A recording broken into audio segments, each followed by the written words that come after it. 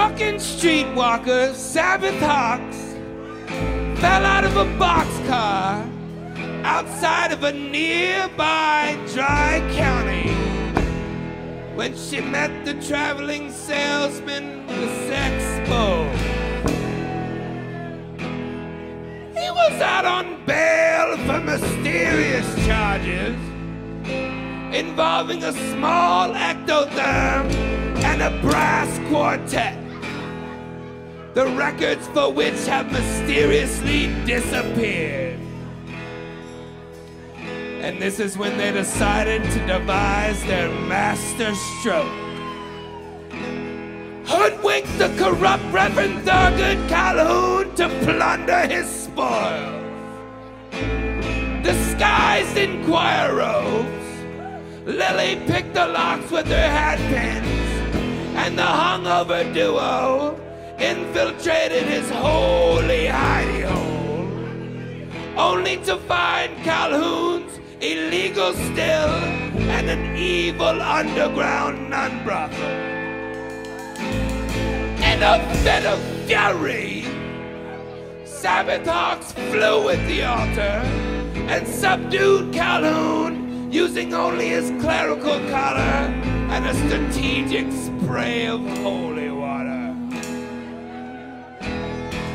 But she was knocked unconscious by a sinister raven that careened from an organ pipe. Meanwhile, Lamont had surreptitiously descended back into the nun dungeon. And unable to resist the sirens, things seemed mildly grim for him. Until his trusty she-wolf burst in the church and began to rend his appendages.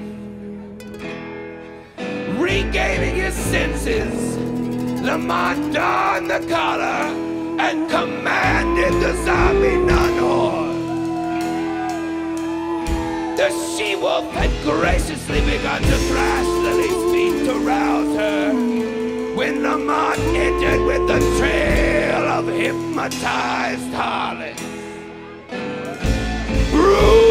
Bruised and blood-soaked, the pair proclaimed Lamont the new fraudulent reverend, and they vowed to empty the still and bring in as much cash as possible to make their getaway.